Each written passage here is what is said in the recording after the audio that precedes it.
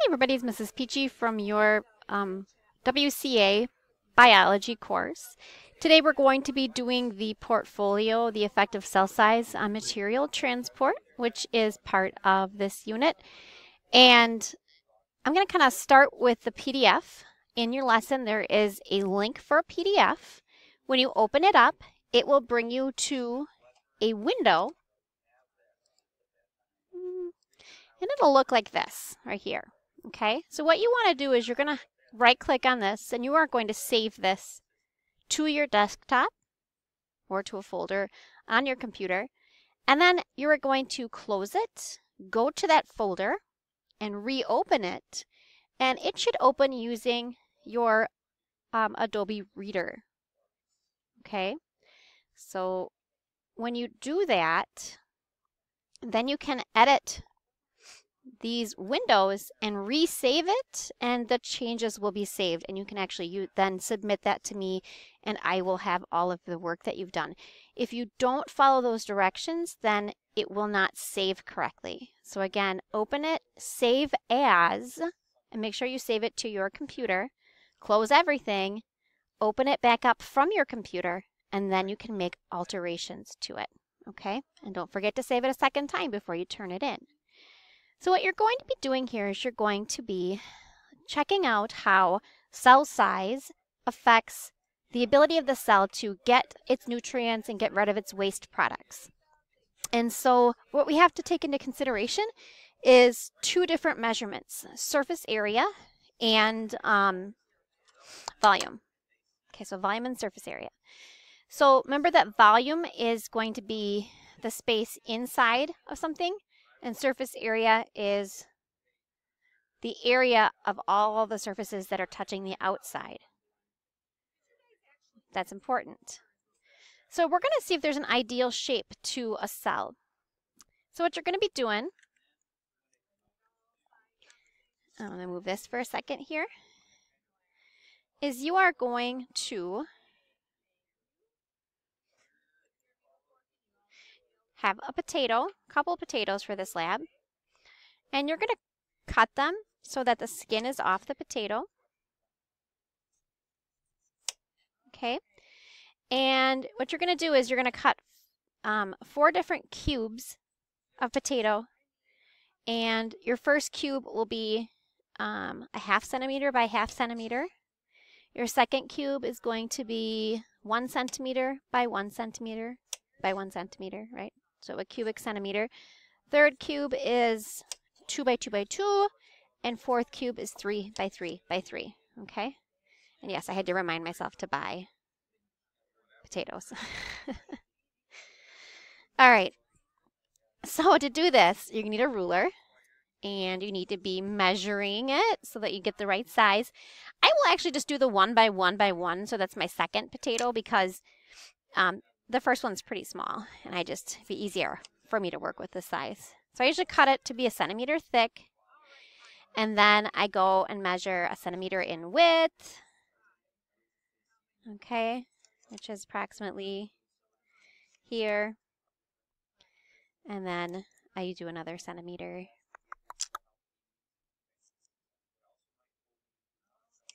Okay. All right, so this is approximately one by one by one. It's not going to be perfect, but it's close. And once you're done, you are going to, done cutting up all four of your potatoes, you're going to need some iodine. You will not have this iodine. This is Gram's iodine, which is kind of uh, an iodine that we use to help stain certain types of um, bacterial culture um, slides for looking under the microscope you're going to need to go to the store and get some iodine. And one of the places um, that you can go you know, is a pharmacy of some kind. Walmart is a good place. Um, a lot of places have Walmarts near them. Um, let's see, where else? Uh, Q, or CVS. Maybe Walgreens. Lots of new, lots of different places would work. Here is just an example. if you will, of povidone iodine, iodine, excuse me. So you can see here that this is what the povidone iodine looks like from Walmart. You can find it near the bandages, um, near the band-aids, near the um, hydrocortisone solute or creams and ointments, and then like um, hydrogen peroxide, rubbing alcohol. In that area is usually where you'll find it. However, if you can't find it, I would say ask the pharmacist because they would be happy to assist you. Or at least they should be happy to assist you. All right. So what we're going to do is we're just going to take some water and just pour in a few inches of water into a cup. You will probably not have this cup, but whatever, that would work. And then you're going to want to have some iodine. Um, I'm actually going to get rid of a little bit of that. I believe the directions only call for a few drops of iodine.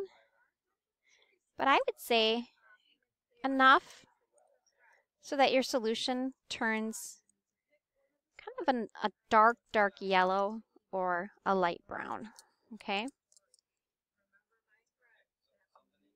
Okay. And then you're going to drop your potatoes in, and you should have all four of your potatoes cut. And then you're going to let it sit there for a good 15 minutes. Okay, so 15 minutes on the clock. Um, that's what the recommendation is in your book. However, I would even say that more time is better.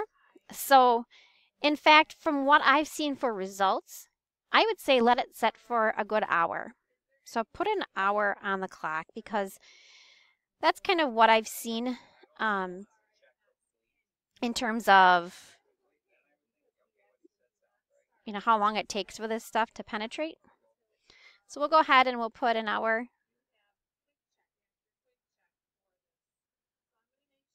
Okay.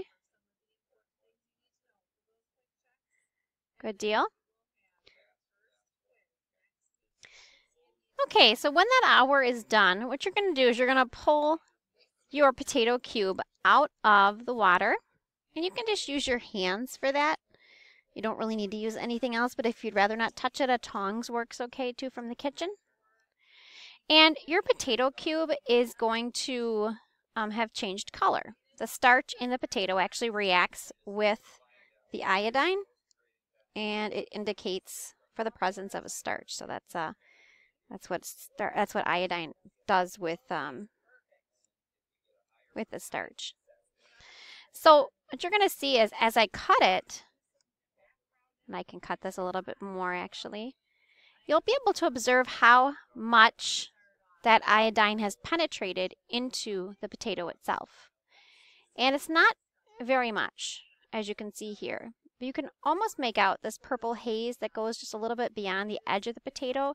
So that's where I want you to measure to. I want you to measure to the edge of that purple haze. And here I would say it's approximately 2 millimeters, which would be 0.2 centimeters, okay? 0.2 centimeters. So the reason why we're saying that is because it's not going to penetrate very far, but we do want to know, you know, how deep it is and how that compares with the size of the potato. So then you've got some calculations to do. All right, so the two calculations you're going to make are surface area and volume. And don't forget that surface area means all sides of the cube. Ooh, everything turned blue. That's kind of funky. Okay, we'll go with that. So, surface area, you take the length times width of one of the sides, because this is a, a, cube, remember, right? So you don't have to do all sides. Length times width of one of the sides, and then you multiply that times 6. And that should give you a surface area for that cube. And then for volume, it's length times width times height. That's volume, okay? This will be, by the way, centimeters squared, and volume will be centimeters cubed. And then for the surface area to volume ratio, what you're going to take is you're going to take the surface area and you are going to divide it by the volume. And you are going to take whatever that number is, put it here, and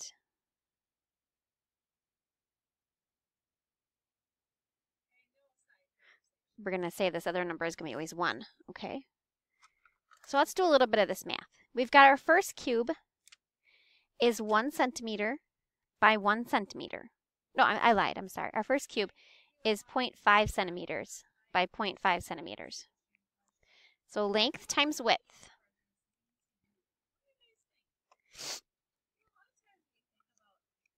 That gives us 0.25. But remember there are six sides. So 1.5 square centimeters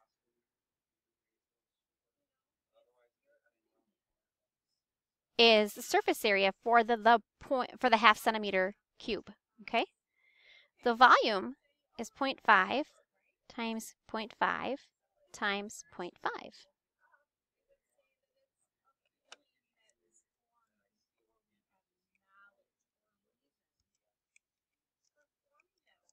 That's 0.125. That's the volume. Surface area to volume ratio, well, that's going to be 1.5 divided by 0.125.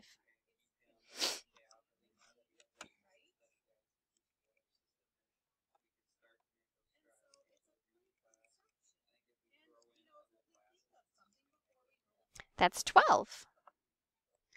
So this gives us a 12 to 1 ratio for our half centimeter cubes. Okay, in other words, the surface area is 12 times bigger than the volume. Surface area is 12 times bigger than the volume. Okay, so now you're going to have to do the same thing for 1 centimeter, 2 centimeters, and 3 centimeters. Determine the surface area the volume, and the surface area to volume ratio. Finally, you'll be answering the follow-up questions. So make sure you do the follow-up questions on here. Okay. Um, make sure you measure the var or figure out what the variables are. Remember, the independent variable is the one that you are changing, and the dependent variable is the thing that responds to the independent variable.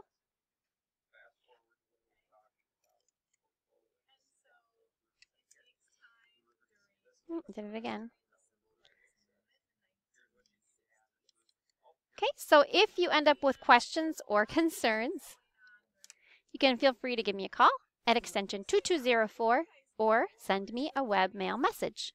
Hopefully you guys have a great day and good luck with your portfolio.